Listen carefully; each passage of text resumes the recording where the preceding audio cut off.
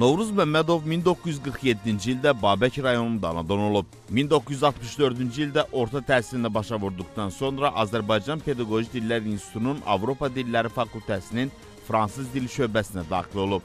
1970-ci ildə həmin fakültənin fərqlənmə diplomu ilə bitirən Novruz Məmmədov 1967-1968-ci illərdə Əlcəzairdə, 1971-1973-cü illərdə Qvineyada, 1978-1981-ci illərdə isə yenidən Əlcəzairdə tərcüməçi və baş tərcüməçi işləyib.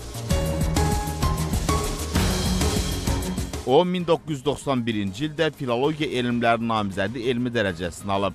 1992-93-cü illərdə Azərbaycan Pedaqoji Xarici Dillər İnstitutunun hazırlıq, 1993-97-ci illərdə isə Fransız Dili Fakültəsinin dekanı vəzifəsində işləyib.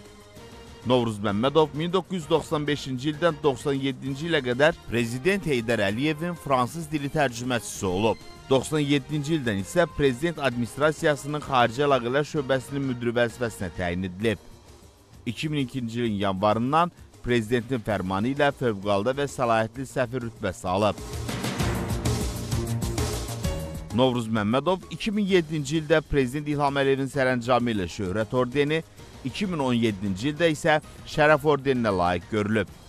1 iyun 2017-ci il tarixindən Prezidentin xarici siyasət məsələləri üzrə köməkçisi, eyni zamanda Xarici Əlaqələr Şöbəsinin müdiri çalışır. Azərbaycan, fransız, rus, ingilis və türk dillərini mükəmməl bilən Novruz Məmmədov evlidir, üç övladı və nəvələri var.